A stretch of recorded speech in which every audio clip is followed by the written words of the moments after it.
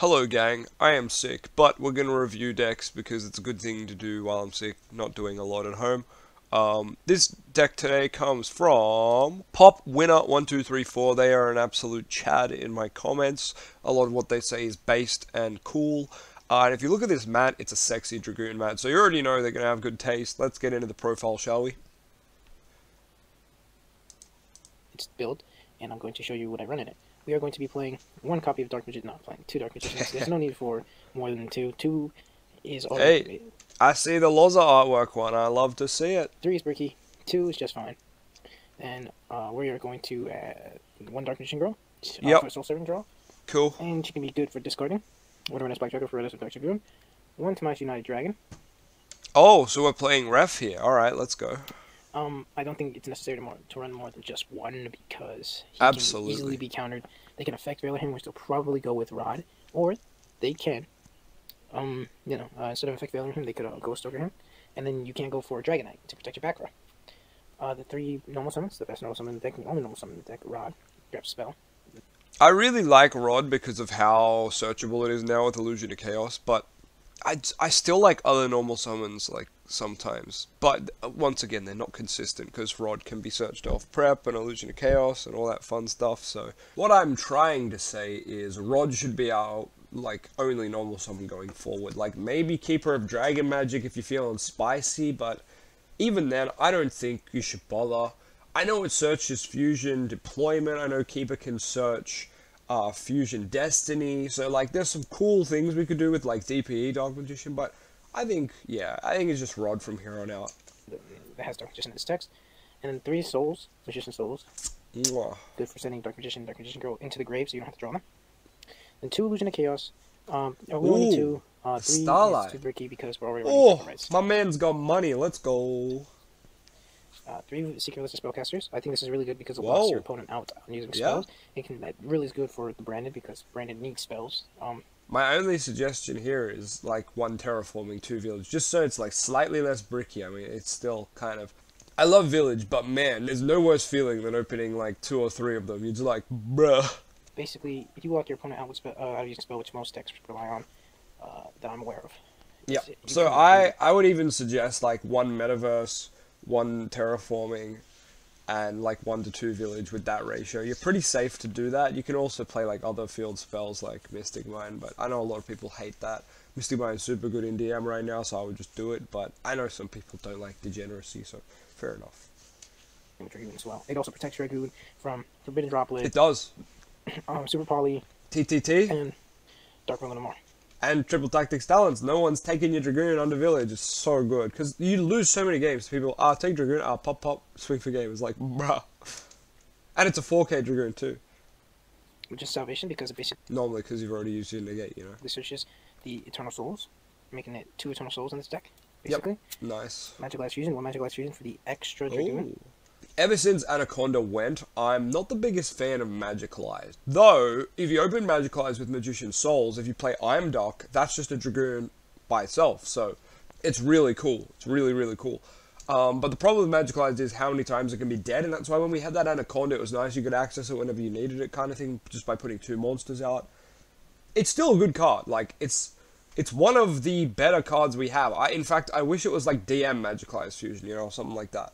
Uh, but unfortunately it's not. So yeah, I don't know. I wouldn't hate on someone for playing this. But it is just like that Saki one of where you need to just hard draw it now. Before it was like a Saki one of, but you could also search it without a Conda. So yeah, uh, the things you can summon off this are like obviously Dragoon. You can make like Quintet if you're feeling ballsy, and that's pretty much the most relevant things. I don't think you'd make anything else. You can't make Dragon Knight because you need to make a spellcaster. So anyone suggesting make Dragon Knight, just you can't. Please read the card. Uh, let's check out what he says about it though. because I think we uh for because you know you can make Dragoon engraved just in case something happens to your first copy. One Secrets of Dark That's Magic. true. Three red fusion to get the best card out on the deck out of your extra deck. best card your Ayo. extra deck, like, So we got a ref build here. Now, normally if I'm playing a ref build, I stray away from Secrets and Tamias. Maybe in this case, just stray away from Tamias, because you're just going to have more cards to brick on, in my opinion. But yeah, I, I don't mind ref though, but I think if you play ref, you have to make your deck more ref orientated, so that means more spell and trap focus. Uh, maybe even Nadia's Servant, because then with your ref, if you get negated on ref, you can at least go Dear Servant and get to um, Shaddoll Schism, uh, so you can have Winda off turn. But then also if your ref resolves, you can still do the same thing. You can Dear Servant, set up Schism. Um, and then you have Winda Dragoon, like a lot of people can't deal with that unless they open Super Poly. If you have Village along with that, you just win. It's great. Anyway, let's hear what he has to say. So good. Like I don't think there's a better card in your extra deck than Razor Dragoon. There might be. It's true. I highly doubt it. Two Prepper Rights. Like ref is still very good. I'm not trying to shit on ref. Uh, obviously, I'm a big ref enthusiast, but it does feel a lot worse now without Anaconda. Of course, that's just naturally how it is. Um, you can do three. Uh, I like to use two, so it's just running four. I mean, even then, you can use Soul Servant to search for it. Yep. Yeah, two two prep is fine as well. Like I always say, play two and three.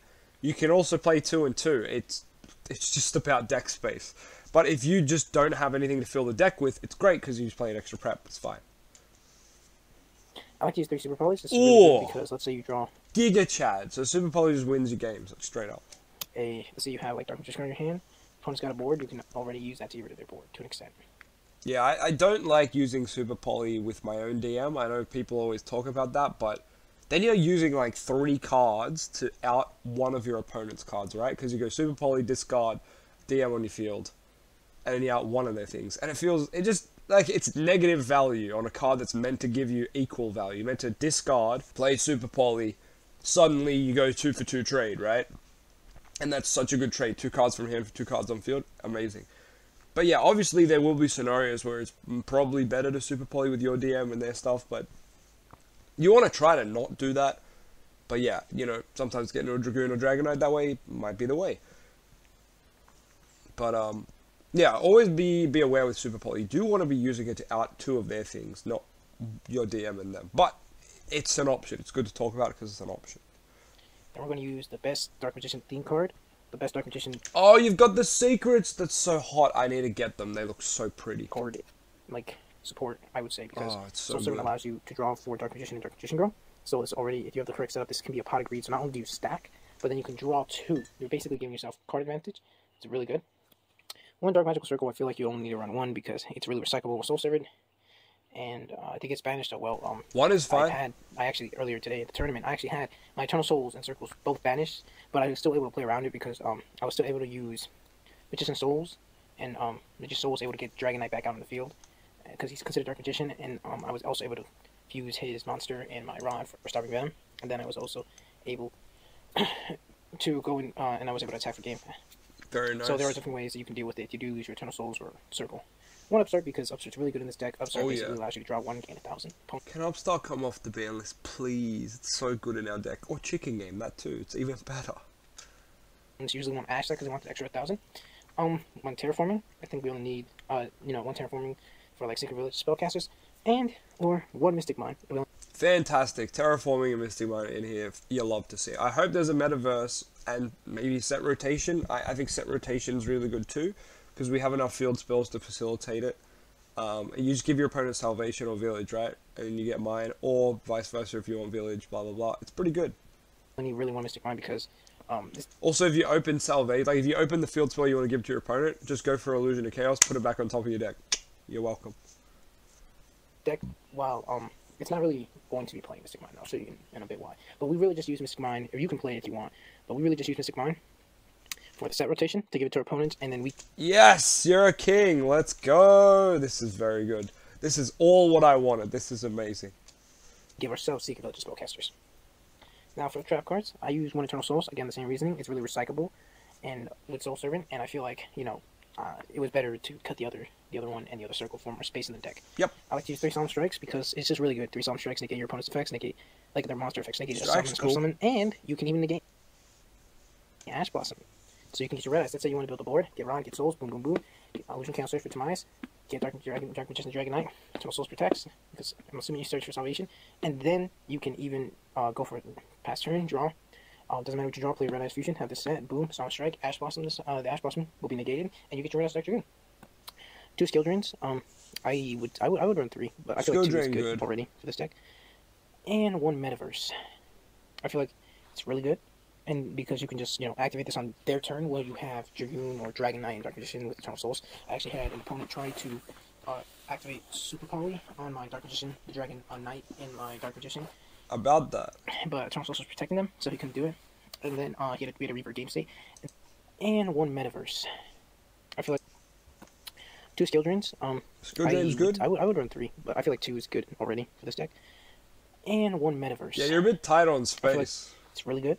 And because you can just, you know, activate this on their turn while you have Dragoon or Dragon Knight in Dark Magician with Eternal Souls. I actually had an opponent try to uh, activate Super Poly on my Dark Magician, the Dragon uh, Knight, in my Dark Magician. But Eternal Souls was protecting them, so he couldn't do it. And then uh, he had to cool. Reaper game state. And then I used this to get secret glitch spellcasters. He couldn't use spell cards anymore, and then he had to scoop, and then we went into game three. Very nice.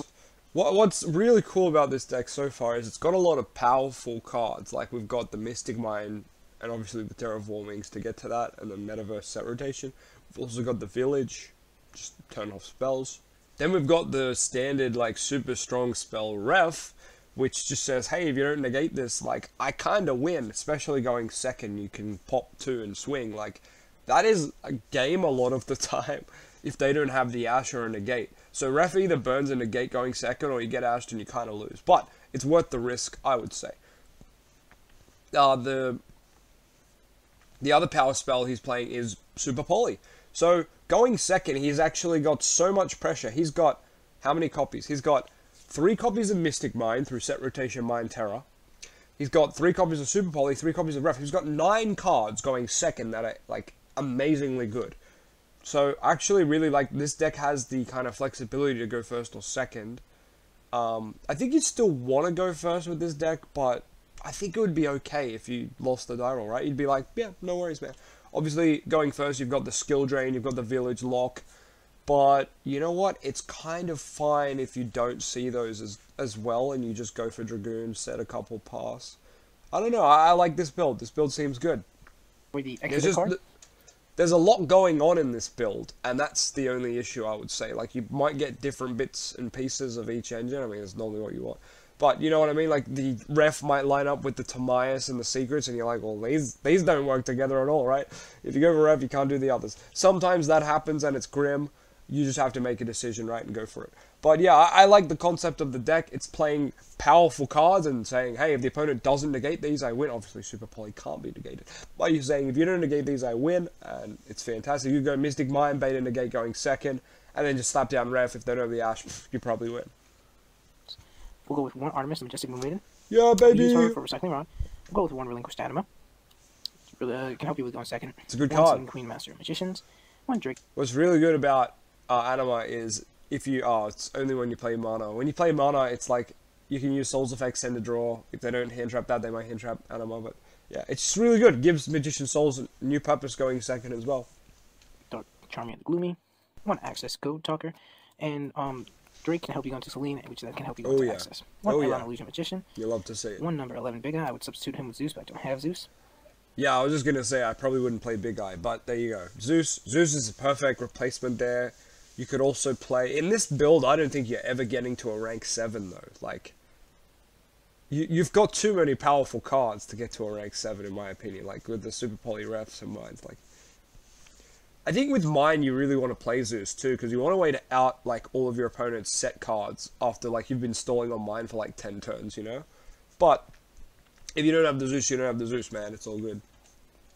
One Mud, Mud Dragon of the Swamp. Super Target. I would recommend switching him out for Garud, but I didn't have Garud. Secret Yeah, Garud is very good, but you want Garud and Mud Dragon in my opinion. You want both. Uh, one dark the dark magicians. Um, you'll Yep. probably barely get this card out. Uh, like it's probably because it's not called DM. If it was, and probably see more. Well, I mean, we really need a contact fusion way to make the Dark Magicians, right? It's literally Dark Magician and the girl, like with new armors and shit. Like, why don't we just say like tribute one DM and DMG, like summon this? Like, it would have been so good, but nope. one venom dragon. Uh, one Predator Planet Conjure. Cool. Two Red Dark Super poly targets. One Yeah. Master of Chaos, and then one Dark Magician's Dragon Knight. Dark. All right, so I've tested Master of Chaos so many times, and even though there's a cute like OTK with him, as like a pseudo OTK, I don't think the card's worth it. I'll probably make it uh, one of my combo videos at some point, but yeah, I would just say don't play it. It's just not really worth it yet. Magician's Dragon Knight's pretty standard. He's gonna help protect. Like maybe later down the line he'll become more relevant, but I don't think he's that good. Your back row and Eternal Souls. Protect Eternal Souls will help protect him. And for the side deck, I, I, I'd run cards like Solemn Judgment, There can only be one. Nibiru, you can, uh, you know, give them the token, use Relinquish, Anima, and get that attack. Dark Rule more. Alright, from here on out, he goes over the side deck, which actually looks pretty good. It's like got Dark Ruler no mores and like actual good shit, so go check that out if you're interested. We've also got uh, some test hands by the looks of things, and you know what? We love to see that shit. Um, I'm gonna go watch these privately now, but you guys should feel free to head over to the channel and have a watch of them. Look at how many power cards there are on this deck. That's that's how you got to play DM. You either got to play floodgates or power cards, and I appreciate that. Floodgate traps or power spells. Very nice. That is a way to play the DM. Anyway, I hope you enjoyed this profile, and um, I hope you subscribe, like, and comment, and let me know down below what profile I should roast next, or in this case, compliment. Catch you guys next time. See ya.